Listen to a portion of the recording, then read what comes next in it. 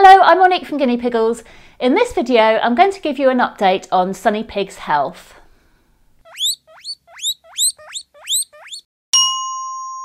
A couple of months ago, we had some bad news about Sunny Pig's health, so we thought we'd give you an update on how she's doing now. If you saw our previous video about Sunny, you'll know she had to go in for an operation. She'd been losing weight, was becoming less active and looking rather unhappy too. After a scan, the vet thought it was a tumour on her ovaries, but thankfully it turned out to be cysts, which are less serious. And these were successfully removed during the operation. Sunny had to have her own space next to the other guinea pigs for a week after her operation while she recovered.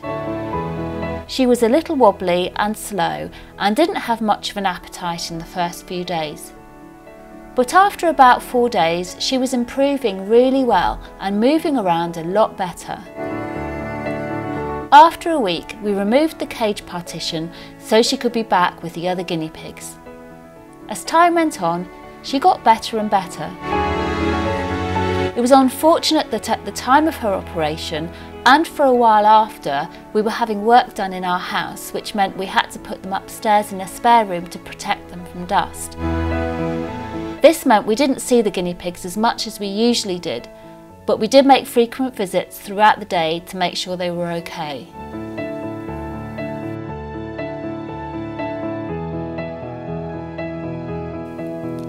Before we go on to show you how Sunny Pig is now, we want to remind you about the care sheets you can buy online and download for immediate use.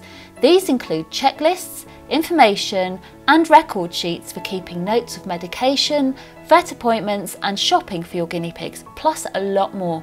I've put a link to where you can buy these in the description below. Now back to Sunny Pig.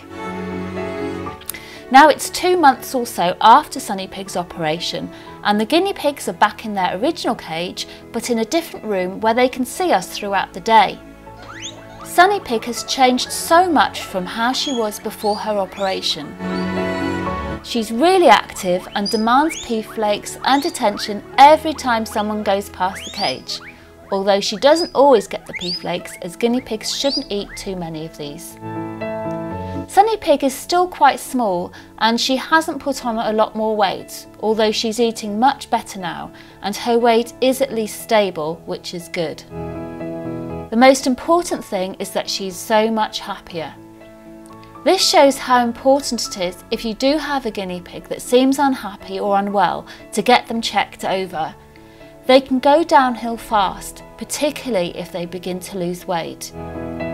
We really weren't sure whether to let her have the operation because she's around five to six years old and there was a chance she wouldn't make it through the procedure. But we're really glad we made the decision to go through with it because her quality of life is so much better now. Although an operation doesn't always end positively and it's a really difficult decision whether to go ahead, Sometimes you need to take that chance to give your guinea pig an opportunity to have a better life.